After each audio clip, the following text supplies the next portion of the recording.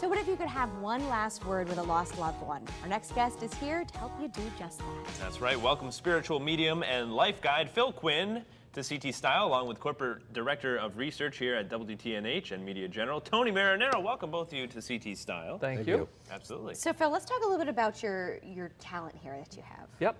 Well, my gift basically works um, as you see and hear me, I see and hear the other side. And as they're ready to contact, they'll come through, they'll say who they are, how they died, their relationship to you, and they'll give um, information about your life, whatever you're seeking.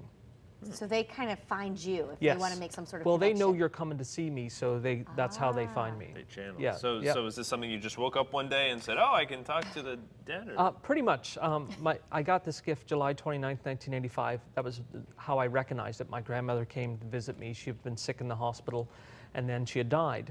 And then I was able to see her for the, the three days that we, um, we keep the body in the house for three days and three nights. And on those three days, she continuously visited me and started to give me messages. And that, that was the beginning of the process. but the, I'm, I'm assuming the rest of your family did not. So you Correct. And Yeah. and and what, and what was that like for you? I mean, that that had to be pretty Terrifying. eye-opening.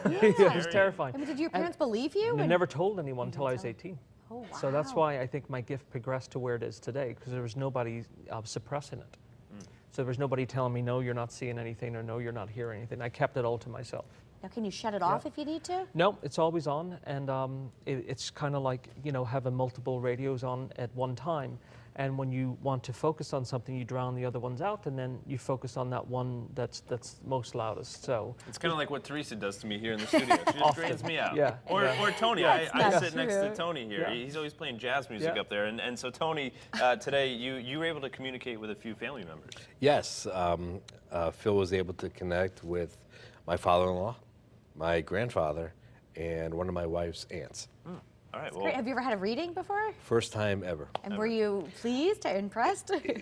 Well, it, it was very exciting and very unique, Yeah. and it was very interesting. You know, um, if you talk, if you start with my father-in-law, he was um, gone uh, much too soon, Mm-hmm. and he had a big part in our family. So I kind of expected that he would come You through. uh, now, my grandfather, I haven't seen him since I was six, so it's been a very long time. And Phil had mentioned that he has been my guide through through my life, and I thought that was very. Uh, That's comforting, nice, and it is to know that you know I haven't seen him for all these years, but he's always been with me. So that was very nice. well, we have a video here of Tony's father-in-law uh, communicating with Tony. Take a look. Just, he's saying happy birthday. It's somebody's birthday. it's my it's my stepdaughter's birthday Yep. coming uh, next week. Yep. Karen. He says, tell everybody I'm okay. Okay, He says, I've made it over just fine. He says, I love you all. we love him too. He says, I miss you guys. He tells me but he wasn't ready to cross over at all. No, he didn't want to go. no. He, He says, uh, unfortunately, he says, this disease got the better of me.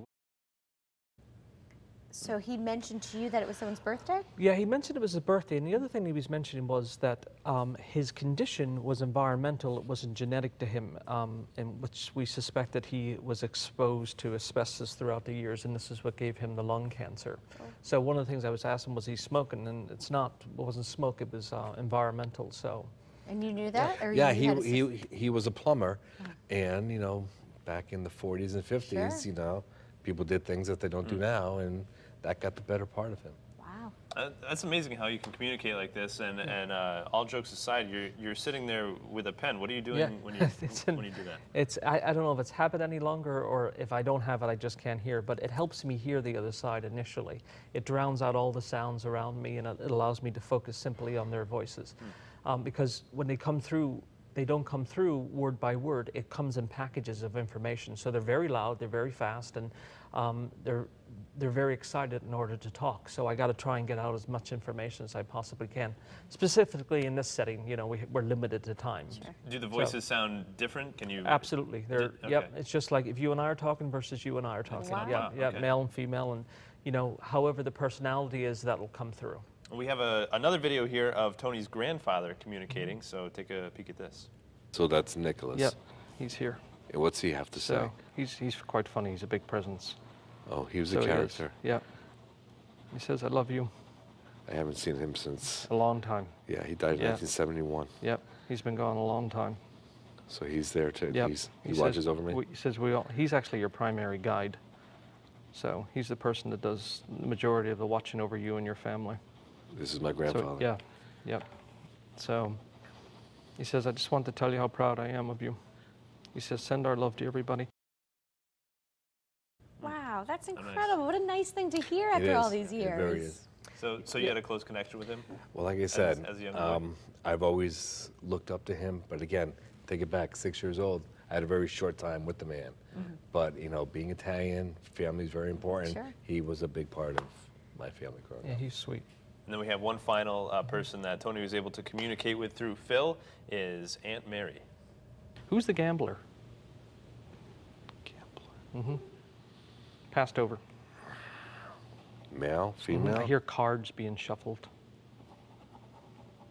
Oh, that could be Mary. She used to play cards. Mm-hmm. Yep. Aunt Mary used Yep. to play cards.